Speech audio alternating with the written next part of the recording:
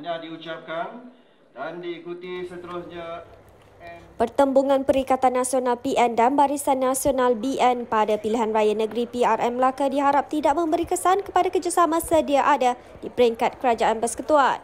Pengerusi PN Tan Sri Muhyiddin Yassin berkata biarpun ia perkara luar biasa, kerjasama terbabit adalah demi kestabilan negara.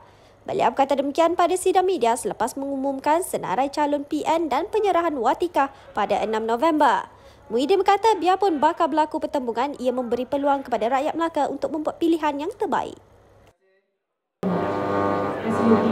I think uh, we heavily understand as far as we're concerned uh, at the federal level, uh, the government that is now being formed is, uh, is a coalition of many parties. Uh, it is a bit uh, unusual, but I think it's for the sake of the nation that this has been done to ensure some form of stability.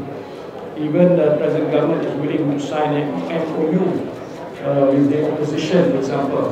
And I think this is okay as far as the federal government is concerned. So hopefully uh, it will not in a way uh, create uh, any major issue.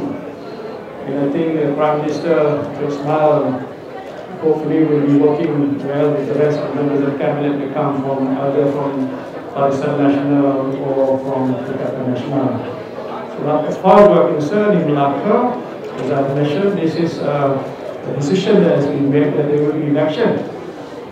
And uh, since this uh, decision has been made the respective coalition to go on their own, we will have to respect that. But also it gives an opportunity for black uh, voters uh, to make the right choice, to make a correct decision.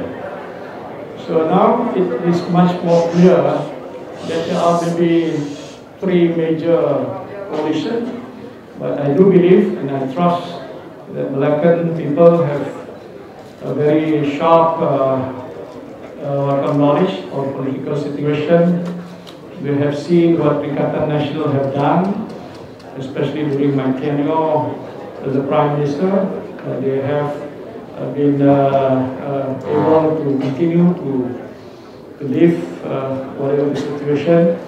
Then we believe that we will have a strong support for Perikatan Nasional in Malacca.